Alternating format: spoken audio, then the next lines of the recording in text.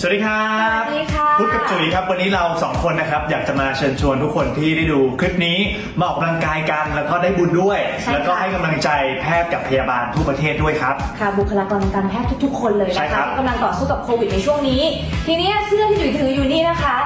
ัวละ 400 บาท มันมีความสำคัญยังไงนะคะ ก็คือสามารถช่วยโรงพยาบาลนะคะ ที่อำเภอถ้าสองอย่างครับที่จังหวัดตากนะครับตัวละ400 บาทนะครับหรือว่าใครจะโอนเข้าบัญชีก็ได้เดี๋ยวรายละเอียดนะครับ เดี๋ยวขึ้นไว้ให้อยู่นะครับนี่ค่ะ อยู่กับบ้านวิ่งบนลู่สู้เพื่อหมอ อ่าวิ่งด้วยกันวันล็อกดาวน์นะครับใครอยากค่ะได้เสื้อน่ารักน่ารักแบบนี้ก็สามารถทำบุญได้ตัวละ400 บาทนะครับอย่าลืมดูแลตัวเองกันด้วยนะครับ ขอบคุณมากครับ ค่ะสวัสดีค่ะ สวัสดีครับ